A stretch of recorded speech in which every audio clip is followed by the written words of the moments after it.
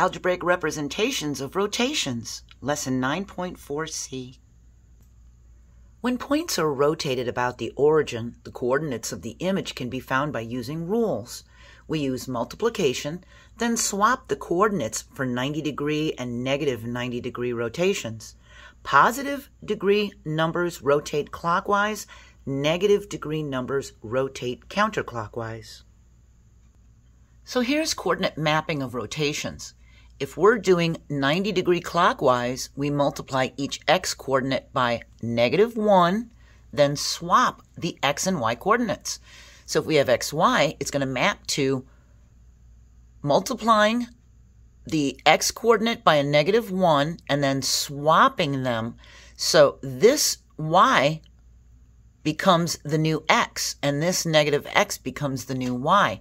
If we're going 90 degrees counterclockwise, which would be a negative 90 degrees, we multiply each y coordinate by negative 1, then swap the x and y coordinates. So we would multiply y coordinate by negative 1, and then we would swap places. So here's our negative y now as the x, and our x now as the y.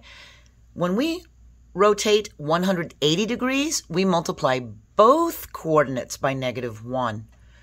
Without swapping them, we just multiply them both by negative 1 and we're done. Triangle ABC is in quadrant 1 with vertices A at 0, 0, the origin, B is at 6, 0, and C is at 6, 3. It's telling us to find the vertices of triangle A prime, B prime, C prime after a 90 degree clockwise rotation. So we're going to rotate clockwise. We apply the rule. We're going to multiply each x value by negative 1, then swap x and y. So here's our ordered pairs for the vertices.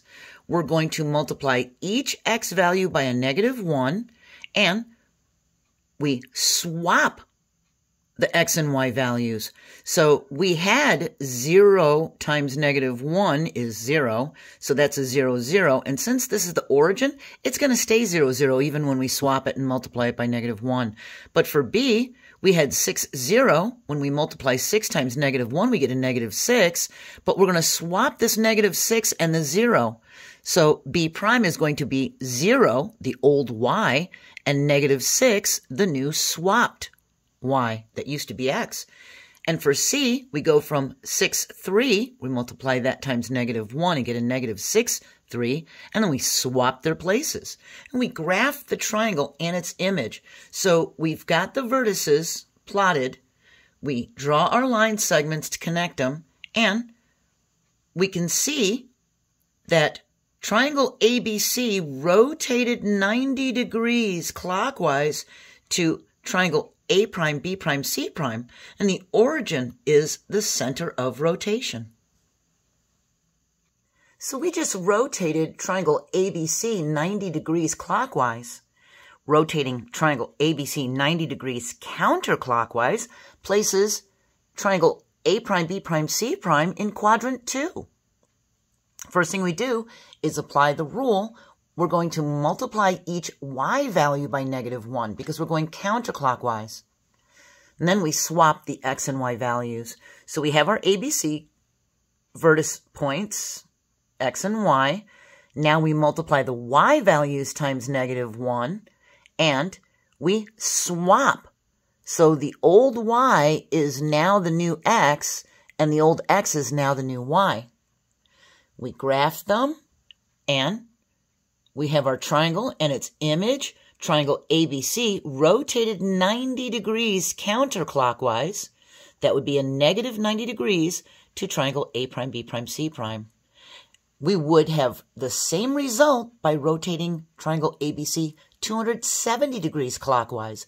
We could have gone around this way and been at the same place.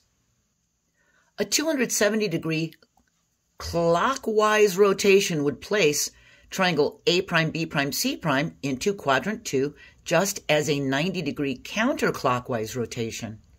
We would follow the appropriate rule for clockwise or counterclockwise rotations.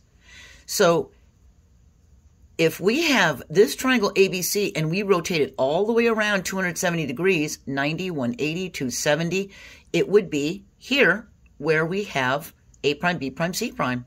And if we just went a negative 90 degrees counterclockwise, it would be there. Quadrilateral ABCD has vertices of A at negative 4, 3, B at negative 3, 7, C at 1, 5, and D at the origin 0, 0. Find the vertices of quadrilateral A prime, B prime, C prime, D prime after a 180 degree rotation. We follow the rule multiplying both coordinates by negative 1. We have our coordinates for the pre-image. We multiply both coordinates by negative 1. We don't need to swap them. With 180, we just multiply both by negative 1 with no swapping, and we get A prime, B prime, C prime, D prime. We graph the quadrilateral and its image. We had the pre-image, and we've rotated it 180 degrees to here. Now we need to be careful. We rotated this pre-image 180 degrees around clockwise to the image. This is a 180 degree rotation. See how it's leaning into quadrant two and now it's leaning into quadrant four? You may think that it reflected over the x-axis, but it didn't. If it was a reflection over the x-axis, it would look like this. This point would be above this point. That would be a reflection. It would have just gone down like that. A rotation puts it here. So be very careful. Now, the rule told us that if we were going to rotate 90 degrees clockwise, we had to multiply the x coordinate by negative 1. And if we go 90 degrees counterclockwise, we have to multiply the y coordinate by negative 1. And in both cases, we're going to swap the x and y values. Well, it doesn't matter if we multiply by negative 1, then swap x and y, or if we swap x and y first then multiply by negative 1. We'll get the same coordinates, but multiplying by negative 1 first will prevent errors. So that would be the preferred way. We're finished with 9.4 and we're moving on to 9.5 and we're going to be talking about combining transformations. We can combine translations with reflections. They're actually called glide reflections we can combine transformations. Please join me for the next lesson and have a great day. Bye.